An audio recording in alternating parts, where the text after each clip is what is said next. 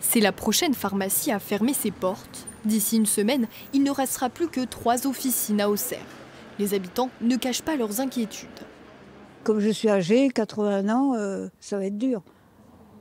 Pourquoi ça va être dur Ben oui, parce que euh, quand je rentre, je- tout de suite, je vais essayer de m'asseoir pour tenir le coup. C'est ça que j'ai peur. Alors s'il y a foule et qu'on soit obligé d'attendre dehors, ça va pas ça. Si on commence à supprimer, que ce soit les pharmacies ou autres commerces indispensables euh, à la bonne, la bonne vie euh, dans notre ville, je pense que ça va devenir dramatique.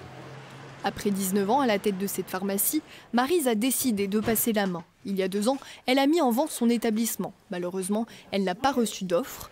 Pour la future retraitée, sa profession n'attire plus assez. On est sur des horaires, on travaille le samedi, on finit tard le soir.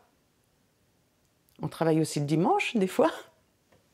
Donc, euh, euh, c'est peut-être tout simplement les horaires euh, qui, qui- qui ne plaisent pas. hein. Dans les jours à venir, cette officine fusionnera avec celle située 300 mètres plus bas dans la même rue. Mais pour le président de l'ordre régional des pharmaciens, la mutualisation peut être un véritable atout. il vaut peut-être mieux qu'ils se- qu'elles se, re- qu'elles se regroupent, entre guillemets, c'est le cas, hein, puisque c'est des sessions de clientèle, pour offrir à- à- à une possibilité plus large de services et mutualiser tous ces services autour de moins de pharmaciens, parce qu'il y a moins de pharmaciens aussi candidats euh, à l'accession dans ces petites villes-là. Mais Auxerre n'est pas une exception.